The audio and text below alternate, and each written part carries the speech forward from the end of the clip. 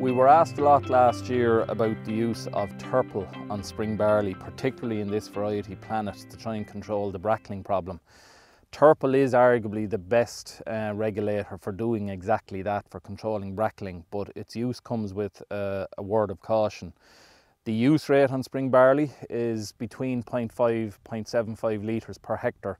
The timing is the problem. Um, when we're going to be going here with the first fungicide, growth stage 30-31, that's too early. It's too early to control brackling. You can use other products there, but you won't get the effect on brackling. You need to go between growth stage 32 and 37. Some people will then lean towards applying the Terpal with the second fungicide, which I would say do not do, because if you do that, you're going to miss the interval. The awns will be peeping.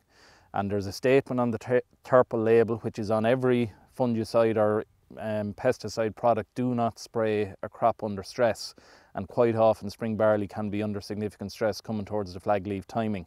Stress can also trigger ramularia, which is a, it's a big component of what causes ramularia to get a hold on a crop. To get Terpal right on spring barley, to my mind, it's nearly a standalone application. That's probably going to be a week, 10 days after the first fungicide. You need to wait for growth stage 32. That is critical. You have to be a full 32. At 32, go with your 0.5 to 0.75 of Terpal. Planet is the number one variety everybody's asking about because it's so prone to bra brackling. The label does allow you to go to 37 slash 39. I would say do not put yourself in a position that you're aiming for that timing because you will miss it. And if you spray spring barley with the awns emerging, there is a good chance you're going to do harm.